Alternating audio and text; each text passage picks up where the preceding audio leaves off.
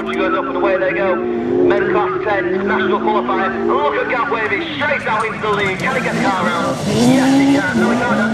It's the, it's that, Monty gets, in, gets down the inside, maybe a little bit of contact there with Gav, dropping another place.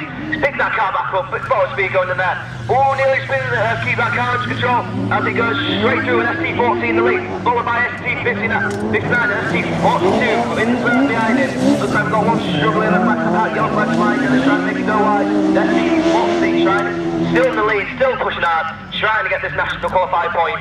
And it, and it looks like it's a comeback round. It is ST59 in the lead, followed by Gav Wavy in the 42 machine. And he's running.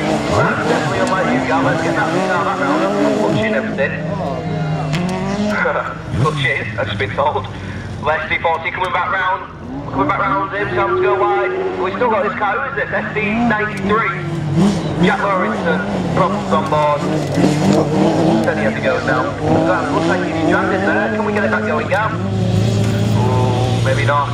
Him retiring, but that's why I get shown the last lap flag here. ST40 still in the lead here, still pushing hard. ST59 trailing behind. He's going to actually an incredible move on this last lap as they come round again. ST40 round that bottom corner.